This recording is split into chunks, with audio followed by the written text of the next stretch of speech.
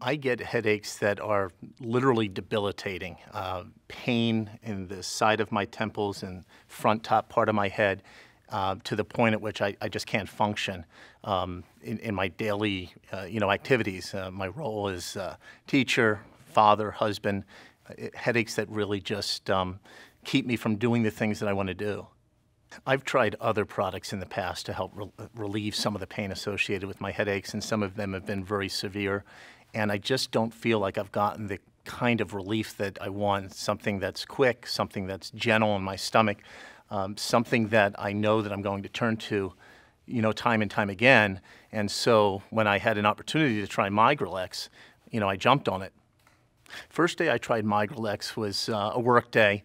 I was uh, teaching, um, and early in the day I had some mild headache pain, and as the day progressed, the headache pain just got worse and worse to the point at which I felt like I couldn't function anymore. Um, and I turned to Migralex. I took it for the first time, and I'd say probably within the first hour, I experienced quicker relief than I'd ever experienced in the past. I mean, truly remarkable.